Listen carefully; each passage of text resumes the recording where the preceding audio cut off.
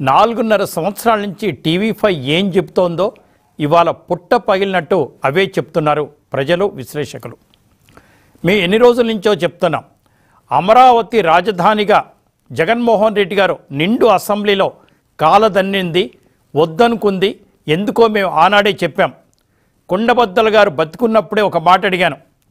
చంద్రబాబు నాయుడు గారు కానీ ప్రభుత్వం కానీ ఓ పది పర్సెంట్ ల్యాండ్ జగన్మోహన్ రెడ్డి గారికి వారి బినామీలకి అంటే ఈరోజు బయటకు వస్తున్న చీఫ్ సెక్రటరీ జవహర్ రెడ్డి గారు కానివ్వండి సునీల్ రెడ్డి గారు కానివ్వండి భారతిరెడ్డి అసలు మనం ముందుగా చెప్పుకోవాల్సింది భారతిరెడ్డి గారి గురించి.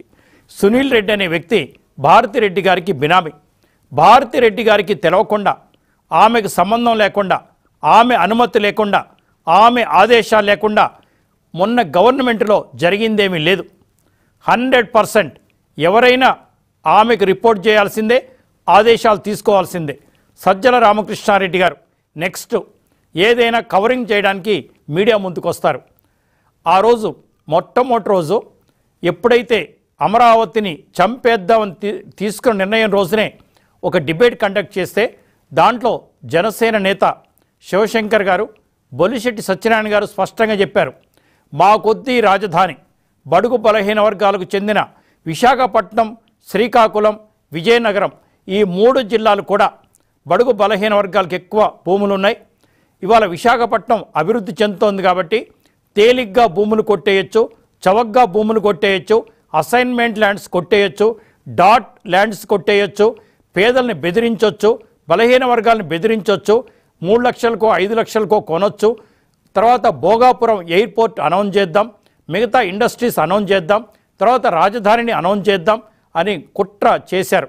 దానికి సిఎస్ జవహర్ రెడ్డి గారు నాంది పలికారు. మరి మిగతా వాళ్ళు ఎవరున్నారో మనకు విశ్లేషకులు చెప్తారు. భారతిరెడ్డి గారి గురించి ఇప్పుడే విశ్లేషకులు చెప్పిందే మీకు చెప్తున్నాను నేను. సునీల్ రెడ్డి గారు భారతిరెడ్డి గారికి బినామీ. భారతిరెడ్డి గారే ఇదంతా స్కెచ్ చేస్తూ ఉంటారు. మిగతా వాళ్ళకి అంతగా చేయ చేయడానికి ఇష్టపడరు అన్నారు ఇవాళ విశాఖపట్నంలో ఋషికొండకు గుండు కొట్టించి గ్రీన్ మ్యాట్ వేసి ఇన్ని రూమ్ల ఇల్లు ఎందుకు కట్టుకున్నారు? టూరిజం ప్లాజా పేరిట టూరిజం పేరిట ప్రజల సొమ్మును దిగమింగి అక్కడ ఎందుకు కట్టారో ఇప్పుడు అర్థమవుతోందా? ప్రజలారా అమరావతి ఎందుకు రాజధానిగా వద్దన్నారో జగన్మోహన్ రెడ్డి గారు ఎందుకు వద్దన్నారో ఇప్పుడు అర్థమవుతోందా విశాఖపట్నం ప్రజలారా? అలాగే అమరావతి మహిళల కన్నీళ్ళు తగిలి ఈ ప్రభుత్వం పోబోతోంది. ఈ ప్రభుత్వం మళ్ళీ రాదుగాక రాదు. ఇంతమంది నేర్పించిన ప్రభుత్వం ఇంతమంది కళ్ళనీళ్ళు చూసిన ప్రభుత్వం ఇంతమంది బడుగు బలహీన వర్గాలను ఏడ్పించిన ప్రభుత్వం ఎప్పుడు మరొక్కసారి గెలిచే ప్రసక్తే లేదు. మేము నిజంగా జగన్మోహన్ రెడ్డి గారు మూడు రాజధానులు అంటే వారు బయటకు చెప్తున్నట్టుగా నిజంగా మూడు అభివృద్ధి చెందుతాయేమో మూడు ప్రాంతాలు అనుకున్నాం కాదు. షర్మిల గారు నిన్నే చెప్పారు. ఇంట్లో ఒక రకంగా బయట ఒక రకంగా ఉంటారు. మా అన్నకి ఆస్కార్ అవార్డు ఇచ్చినా తప్పే. అంటే తక్కువ తక్కువే. అంతకన్నా పెద్దవాడు ఉన్నప్పుడు నేను చెప్తానులే. బయట అక్క చెల్లెమ్మలు తాతమ్మలు నా ఎస్సీలు నా ఎస్టీలు నా బీసీలు నా మైనార్టీలు అన్నదల్లా కూడా దోచుకోవడానికి తప్ప వేరేది కాదని వారి సొంత చెల్లెలు షర్మిల గారే చెప్పారు. ఒక టూ డేస్ బ్యాక్.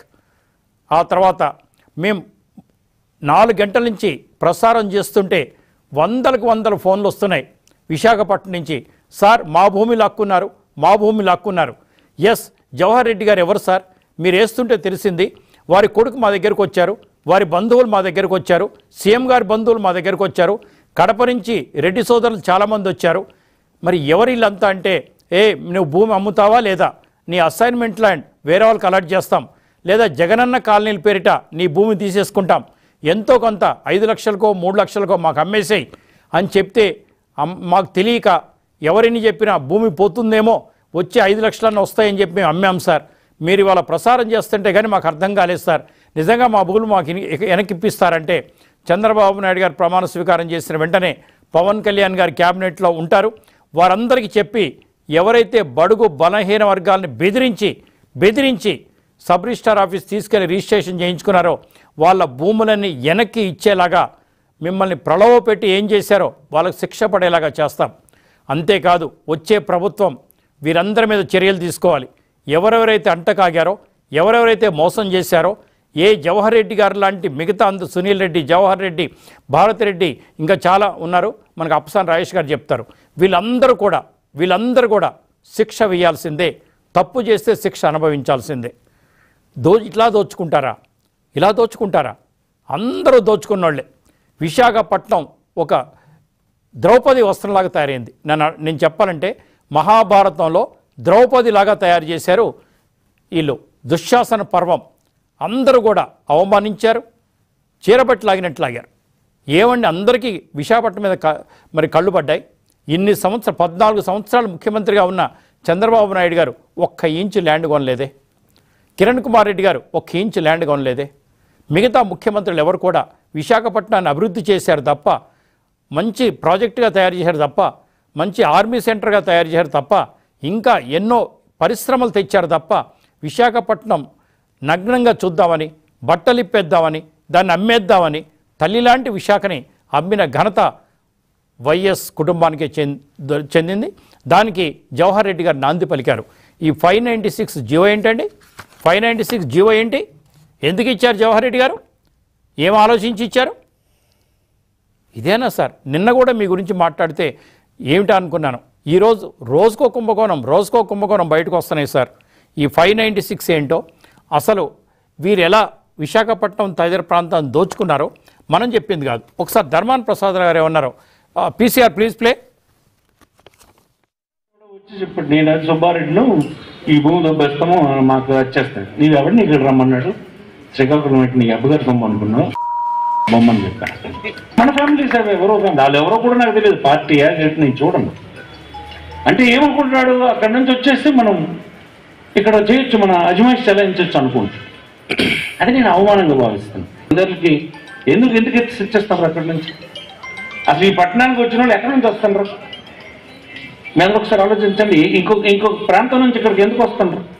నివాసం ఉన్న వాళ్ళందరూ చూస్తే పదిళ్ళు తొమ్మిదిళ్ళు ఇతర జిల్లాలో ఇతర ప్రాంతాల్లో ఉన్న వాళ్ళు ఇక్కడికి వచ్చినారు. ఎందుకు వచ్చింది అక్కడంటే వాతావరణం లేదనమాట మరి ఇక్కడ ఆ వాతావరణం లేకపోతే అక్కడికి వెళ్ళిపోతారు? వాతావరణం లేకపోవడానికి ఏం పెద్ద ఇదేముంది? వదిలేస్తే అయిపోతుంది.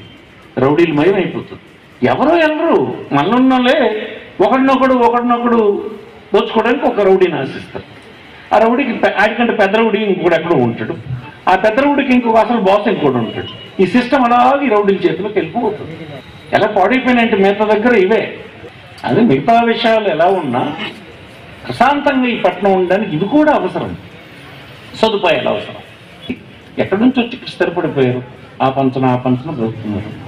బాధ్యత లేకుండా వచ్చినాడు అవేళ పైసా పరక్ కోసం ఏదో పని చేస్తే తప్పుదారికి వెళ్ళిపోతుంది మీ. కడప ఏరియా నుంచి ఆ రెడ్లు ఈ రెడ్లు సుబ్బారెడ్లు వచ్చి విశాఖపట్నం దోచుకుంటామంటే ఊరుకుంటామా? ఎక్కడ చూసినా ప్రతి మూడిళ్ళలో నాలుగిళ్ళలో మూడు ఇళ్ళు వాళ్ళయ్యే ఉంటున్నాయి. మనమే వాళ్ళని అలో చేస్తున్నాం. ఒక మనకు సమస్య వస్తే ఒక రౌడీని కలుస్తున్నాం. ఆ రౌడీ ఇంకో రౌడీ ఆ రౌడీ ఇంకో రౌడీ. ఆ రౌడీ రాష్ట్రంలో పెద్దోడు రౌడీ వీళ్ళందరూ కలిసి దోచుకుంటున్నారు. ఊరుకుందామా?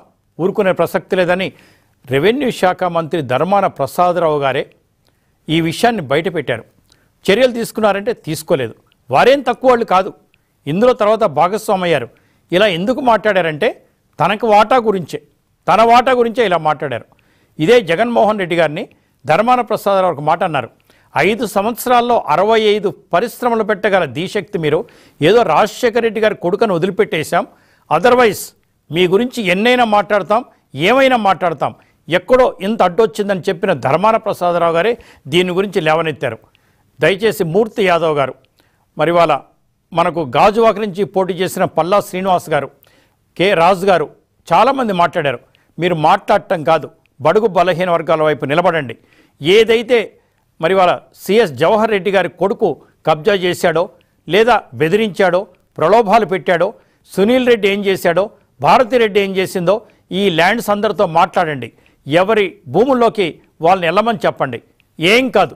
మేమంతా మీకు అండగా నిలబడతాం. బడుగు బలహీన వర్గాలు దోచుకోవడానికా మీరు విశాఖ? ఎస్సీ ఎస్టీలను దోచుకోవడానికా మీకు మీకు Visakha? Assignment lands dot lands అన్నీ కూడా. This is the GO five ninety six.